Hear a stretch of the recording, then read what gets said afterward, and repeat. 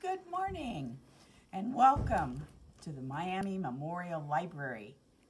Today's story is how Jack Rabbit got his very long ears by Heather Irbinskas and illustrated by Kenneth Spengler. We're going to like the pictures.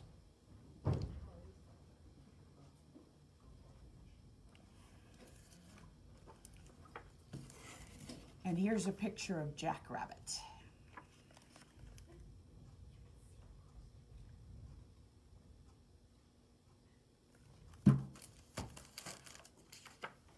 How Jack Rabbit got his very long ears.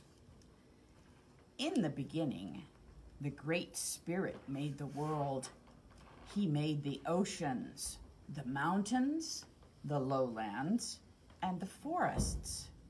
And then he mixed a bit of red clay with sand and blew it in each of the four directions.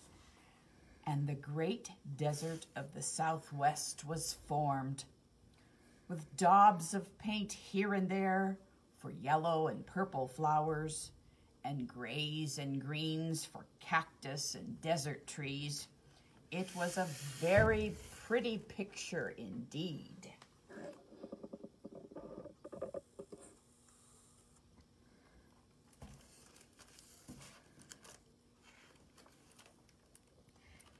Next, the Great Spirit needed a helper to run his errands on earth.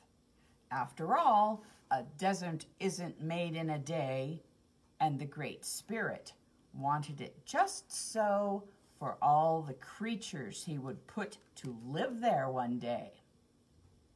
He needed an animal who was fast and smart and would be able to help settle the other creatures into their new desert homes. So he created Jackrabbit.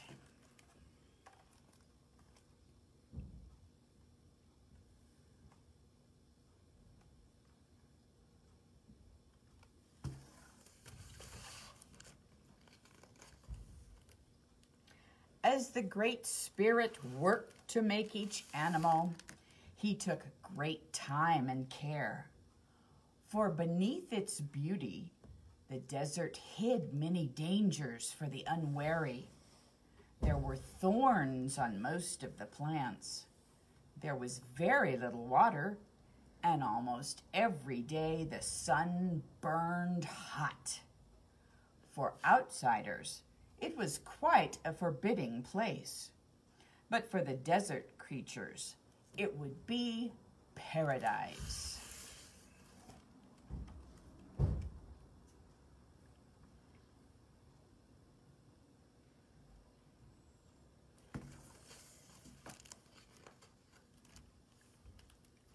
Jackrabbit's job was to take the animals the Great Spirit created and lead them to their new homes.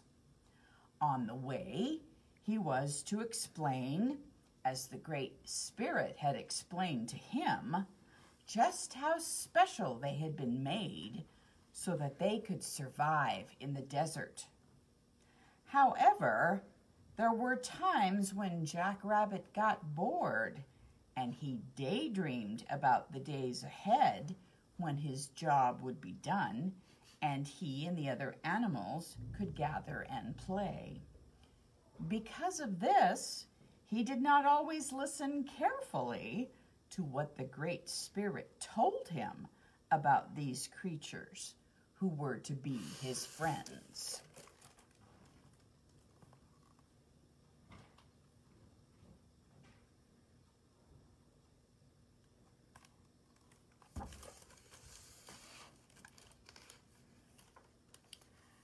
As Jack Rabbit took the desert tortoise down to earth, Tortoise asked, Jack Rabbit, why is it I am so slow?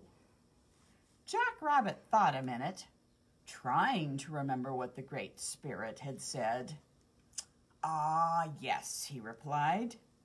It is because you are not as smart as I. Oh, said Tortoise. And he sadly walked away.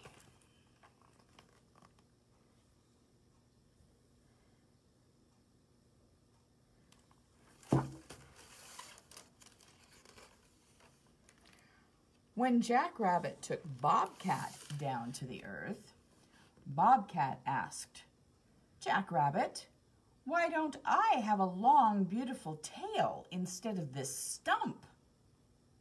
Jack Rabbit thought a minute, trying to remember what the Great Spirit had told him. Ah, yes, he replied. It is because that that was all that there was left. There were no more long tails left. Oh, said Bobcat and he sadly padded away.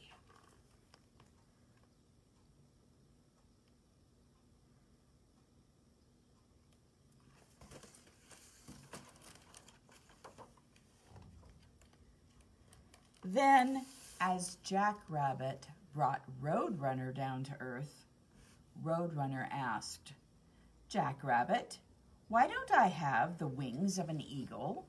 so that I can soar high in the sky. I'm only able to fly from the ground to a tree. Jack Rabbit thought a while, trying to remember the Great Spirit's words. Uh, yes, he replied, because you're not as important as Eagle, so you can't fly as high as he. Oh, said Roadrunner and she sadly fluttered away. I turned the page before I showed you the picture.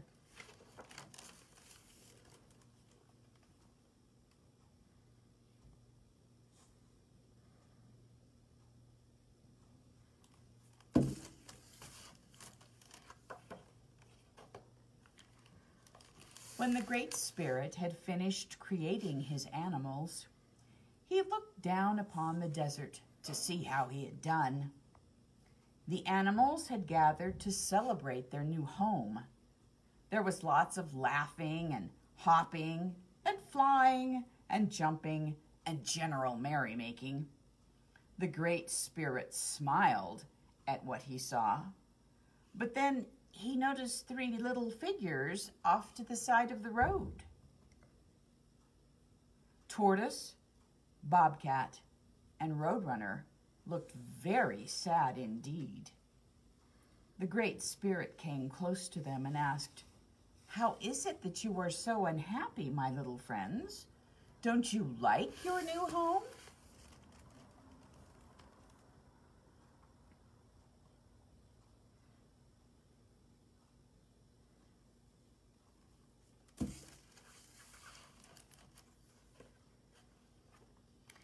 Each one nodded, but Tortoise replied with a tear in his eye. I asked Jack Rabbit why it what was that you made me so slow, and he said it was because I'm not as smart as he is. The Great Spirit said, Jack Rabbit must not have heard me well, because you are special. You alone do not need to run quickly for shelter because wherever you go, you are always home. Oh, said Tortoise, with a smile on his face.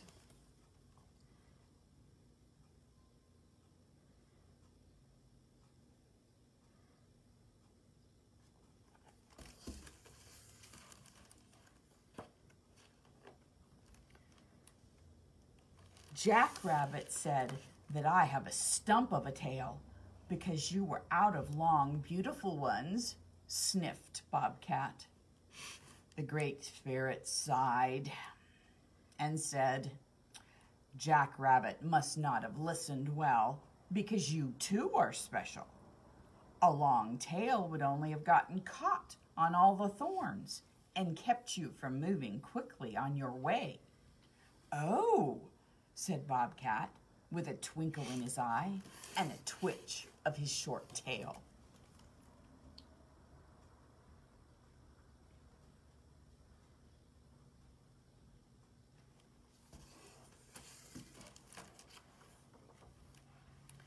With her head held low, Roadrunner sighed. I'm not important like the eagle in the sky, and that is why I shall never fly as high. That's what Jack Rabbit said. The Great Spirit frowned and said, Jack Rabbit surely did not pay attention, for you are truly special. All that you need is close to the ground, and no one can travel as fast as you across it.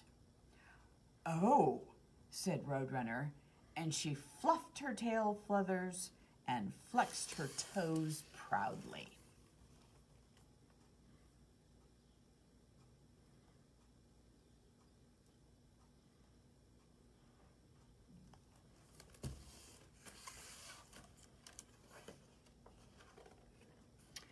As Roadrunner, Tortoise, and Bobcat joined the others, the Great Spirit was thoughtful. Hmm, perhaps I made Jackrabbit too quickly, he said to himself. Not only did he create misunderstandings with his fellow creatures by not paying attention, but a rabbit who does not listen to what goes on around him will not survive in the desert.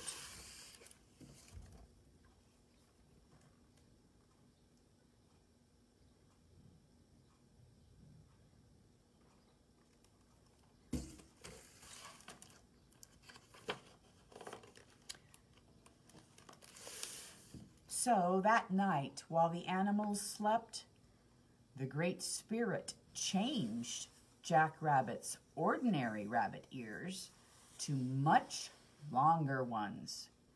And to this day, if you try to sneak up on a jackrabbit, you will find he has very good hearing indeed.